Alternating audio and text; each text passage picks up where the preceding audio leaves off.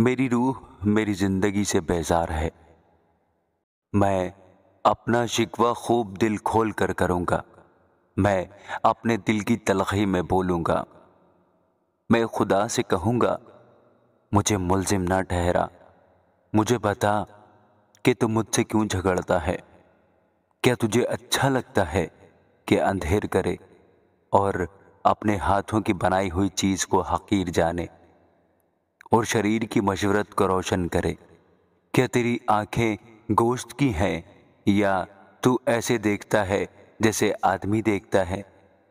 क्या तेरे दिन आदमी के दिन की तरह और तेरे साल इंसान के आयाम की मानद हैं कि तू मेरी बदकारी को पूछता और मेरा गुनाह ढूंढता है? गो, तुझे मालूम है कि मैं शरीर नहीं हूँ और कोई नहीं जो तेरे हाथ से छुड़ा सके।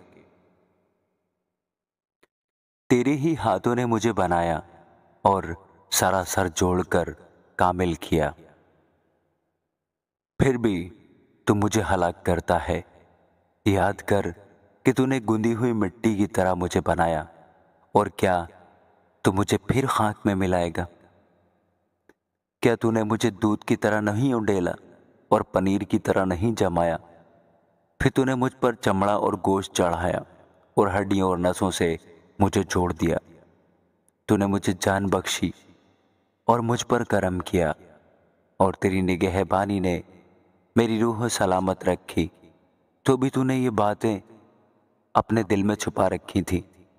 मैं जानता हूँ कि तेरा यही इरादा है कि अगर मैं गुनाह करूँ तो तू मुझ पर निगरान होगा और तू मुझे मेरी बदकारी से बरी नहीं करेगा। अगर मैं बदी करूँ तो मुझ पर अफसोस, अगर मैं सादिक बनूं तो भी अपना सर नहीं उठाने का। क्योंकि मैं रसवाई से भरा हूँ और अपनी मुसीबत को देखता रहता हूँ। और अगर सर उठाऊं तो तू शेर की तरह मुझे शिकार करता है और फिर अजीब सूरत में मुझ पर ज़ाहिर होता है। तू मेरे खिलाफ नए नए गवाह लाता है और अपना कहर मुझ पर बढ़ाता है।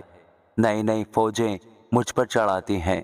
बस तूने मुझे रहम से निकाला ही क्यों? मैं जान दे देता और कोई आँख मुझे देखने ना पाती। मैं ऐसा होता कि गोया था ही नहीं। मैं रहम ही से कब्र में पहुँचा दिया जाता। क्या मेरे दिन थोड़े से नहीं? बाजा और मुझे छोड़ दे ताकि मैं कुछ राहत पाऊँ।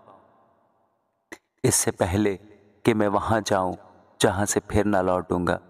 यानी तारीकी और मौत और साया की सरजमीन को। गहरी तारीकी की सरजमीन, जो खुद तारीकी ही है, मौत के साय की सरजमीन, जो बेतरतीब है और जहाँ रोशनी भी ऐसी है जैसी तारीकी आमीन।